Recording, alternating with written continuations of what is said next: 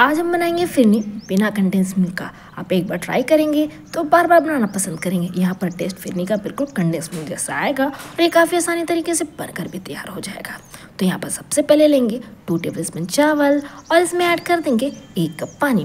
पानी में पंद्रह मिनट तक रहने देना है। आप चाहे तो आधे घंटे तक भी रख सकते हैं। तकरीबन पंद्रह मिनट के बाद धो लेंगे और कॉटन कपड़े में इस तरीके से रखकर सूखने देंगे।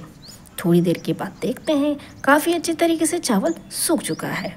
यहाँ पर लिए हुए मिक्सर ग्राइंडर और चावल को ऐड कर देना है और ग्राइंड कर लेंगे दरदरा। ग्राइंड करना है। कुछ इस तरीके से यहाँ पर लिए हैं एक लीटर दूध और उबाल आने देना है।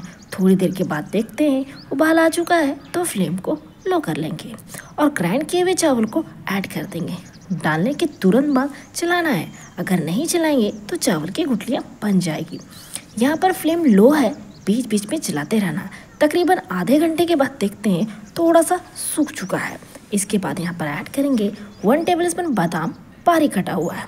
इसके बाद ऐड करेंगे वन टेबल स्पून चुहाड़ा, जो कि अभी बारीक कटा हुआ है। और इसके बाद ऐड करेंगे वन टेबल स्पून अखरोट, जो कि अभी बारीक कटा हुआ है। इसके बाद ऐड करेंगे वन टेबल स्पून किशमिश। इसके बाद ऐड करेंगे वन टेबल स्पून नारियल पाउडर आप चाहते हैं यहाँ पर नारियल कट के भी ऐड कर सकते हैं। अब अपने मनपसंद का भी ड्राई फ्रूट्स ऐड कर सकते हैं। इसके बाद यहाँ पर मीडियम फ्लेम कर लेंगे और साइड साइड में कुछ इस तरीके से कर लेंगे ताकि चिपके ना।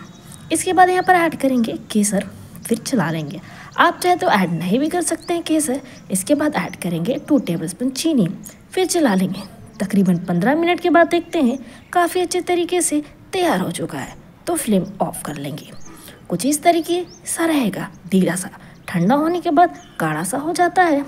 तकरीबन पाँच मिनट के बाद देखते हैं, कुछ इस तरीके से हो गया है, थोड़ा गाढ़ा सा। जितना ठंडा होगा, उतना गाढ़ा हो जाएगा। अब सर्व करते हैं। इसे मिट्टी के कंटेनर में भी रखकर खा सकते हैं, जिसके टेस्ट और बेहतरीन सा लगता है। इसे आप एक घंटे के लिए फ्रीज में रख दें। इसके बाद खाएँ।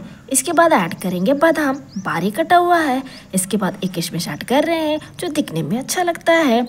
पंद्रह मिनट के बाद देखते हैं थोड़ा गाढ़ा सा हो गया है। यहाँ पर बिना कंडेंस मिल्क का फिरनी काफ़ी अच्छे तरीके से तैयार हो चुका है, जिसका टेस्ट काफ़ी बेहतरीन है। आप इस तरीके से एक बार ज़रूर ट्राई करें। हमारे चैनल को सब्सक्राइब करें, लाइक और कमेंट देना बिल्कुल भी ना भूलें।